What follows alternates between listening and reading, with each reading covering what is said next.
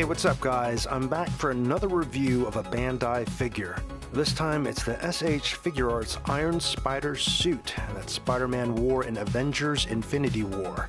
Now technically this suit was first briefly seen in Spider-Man Homecoming, a movie that I liked in large part because of Tom Holland, who I really think nailed the character of Spider-Man and Peter Parker not only in that movie, but in Avengers Infinity War as well. The Iron Spider is very much a modern and sleek version of the classic Spider-Man costume, with some surprising but fitting color variations. I mean, who knew gold would look so good with red and blue?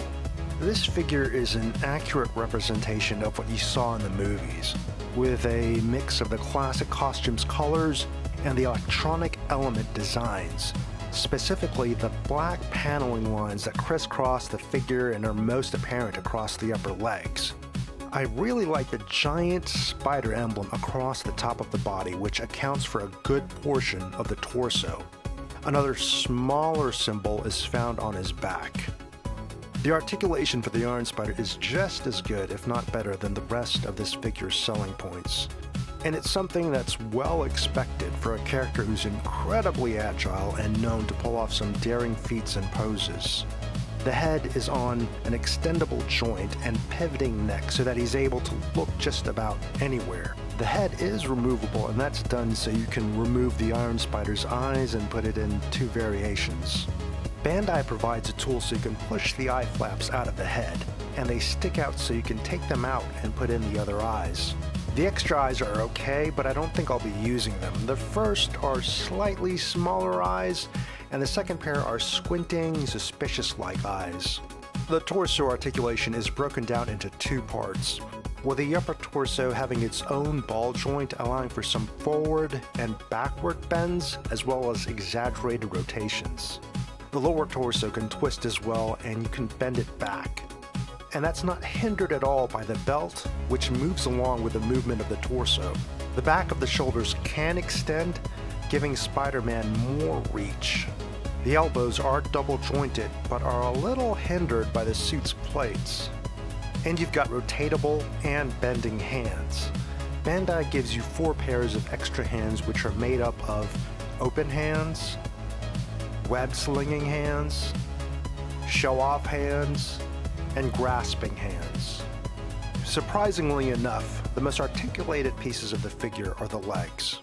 Not only are there ball sockets found in the upper legs, but the joint also allows you to pivot the leg to the side, and that really helps to get the figure in some cool aerial poses, especially if you're using that double jointed knee. The feet are on a shifting ball joint, and you've also got articulation found in the toes where you can raise them. Bandai also provides some web slinging effects in the form of short and long web shooters. They're easily placed in between the wrist joint and the hands, and you can use them for either hand. You're also given a very long web, so you can get Spider-Man swinging across the air. And we come to the final accessory, which I have mixed feelings about. When I saw the trailers of Avengers Infinity War and the Iron Legs, I did not like that look for Spider-Man at all.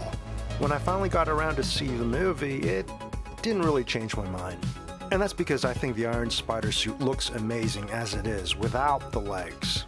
Having said that, I have to tell you, Bandai did a great job with the Iron Legs. They're just as articulated as the Spider-Man himself.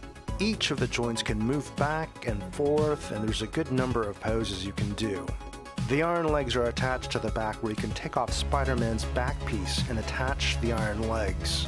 Bottom line, if you like Spider-Man or highly articulated figures, you're going to want to get this. I'm constantly blown away by the SH Figuarts line in terms of how they're designed and particularly how extraordinary the articulation is. Iron Spider was one of the highlights for me in Infinity War, and I'm glad I've got this spectacular representation of him in this well-designed and highly articulated figure.